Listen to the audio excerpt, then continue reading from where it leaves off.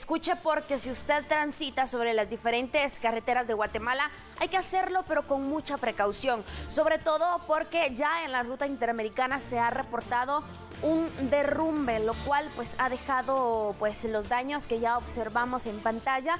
Ya el, personal correspondiente pues está eh, realizando las diferentes diligencias de labor para poder limpiar esa zona, lo cual está generando un poco de tránsito vehicular debido a que uno de los carriles pues está ah, inhabilitado en el kilómetro 16 de la ruta interamericana. Esto con dirección hacia el occidente. Como le comentaba, esto está ocupando uno de los carriles en determinado momento, pues esto puede generar fuerte congestionamiento vehicular en el lugar. Así que solo le recomendamos que por favor usted tome en cuenta esta información porque de los eh, dos carriles que hay en circulación en el mismo, en ese mismo tramo carretero, pues solamente está ocasionando uno. Allí hay prácticamente un embudo que es lo que se sabe hasta el momento.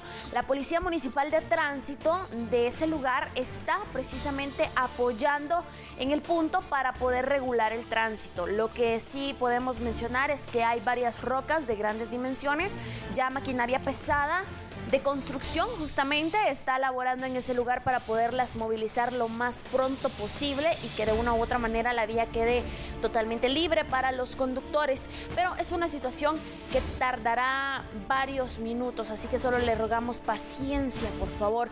Sabemos de que a esta hora muchos guatemaltecos pues salen de su casa con rumbo hacia el trabajo, hacia los estudios y etcétera.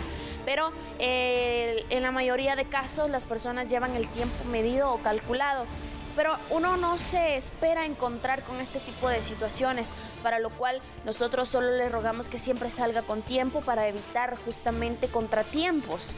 Allí el área está muy bien señalizada, hay conos por parte de la Policía Municipal de Tránsito de Misco para que ustedes puedan tomar la precaución necesaria en ese lugar. Por momentos la vía queda bloqueada totalmente, así como observamos en esta fotografía. Esto debido que la maquinaria de, construcción, la maquinaria pesada, pues está realizando las diferentes diligencias, como le comentaba, por leves momentos, eh, por un lapso de aproximadamente 10-15 minutos, el paso queda totalmente, en este, en este caso, bloqueado por los diferentes trabajos, pero es una situación que, como le mencionaba, va a tomar unas cuantas horas más, mientras esto pueda limpiarse en su totalidad y que usted pueda transitar por ese lugar tranquilo. Recordemos que las lluvias han continuado en el territorio nacional. De hecho, este fin de semana fueron bastante copiosas las lluvias. Incluso aquí en la ciudad de Guatemala ha llovido constantemente y bastante fuerte en algunos sectores, lo cual genera la saturación de los suelos y de allí es donde vienen directamente estos derrumbes. Tómelo en cuenta, nosotros solo le mencionamos eh, la información, ya uno de nuestros equipos se está trasladando a ese lugar para más adelante brindarnos una actualización de cómo está esta situación de limpieza en el lugar. Tómelo en cuenta, por favor.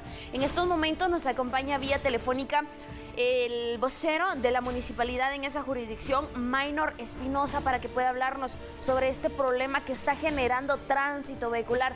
Minor, buenos días, gracias por atender la llamada. ¿Cómo está toda esta situación hasta el momento? ¿Cómo han avanzado los trabajos de limpieza? Muy buenos días, amables televidentes. Gracias, Andrea. Pues esta mañana se produjo un derrumbe a la altura del kilómetro 16 de la ruta interamericana, en donde obstaculizó precisamente un carril con rumbo hacia occidente. Cabe destacar que hace unos 20 días también se produjo otro derrumbe por la noche y una de las rocas le cayó a un carro. En esta ocasión, en esta mañana, pues afortunadamente no reportamos ningún tipo de daño material, ni, personas heridas, pero nuestro personal ya se está movilizando, ya tenemos la retroexcavadora.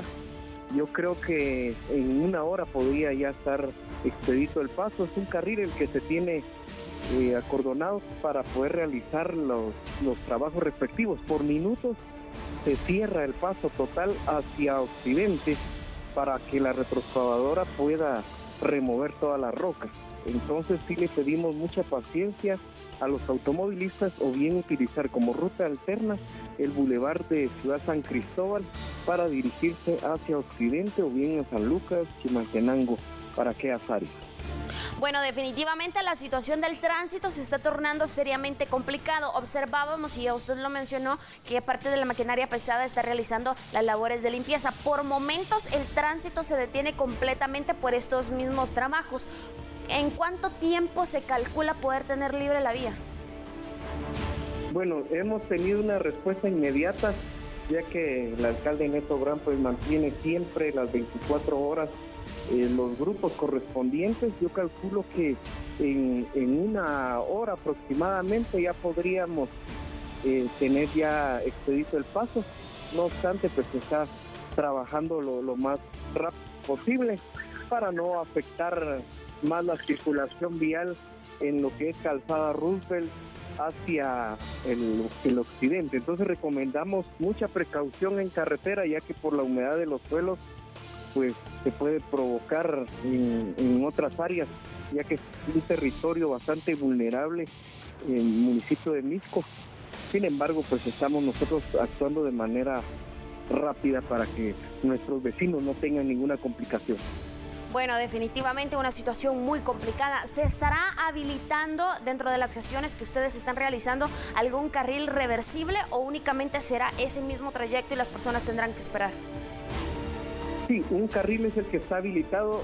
Yo creo que si tomamos otro carril del otro lado, podríamos complicar aún más la situación para los que vienen de Occidente hacia la ciudad. Entonces, se este, está dejando un carril precisamente en este sector y pues se está dando la mayor fluidez necesaria. Solo cuando la retroexcavadora pues necesita así eh, retroceder o hacer sus maniobras, pues sí se cierra eh, totalmente la calzada por, por minuto, ¿verdad? Tratamos de que sea lo más pronto posible y así evitar mayores complicaciones durante el día.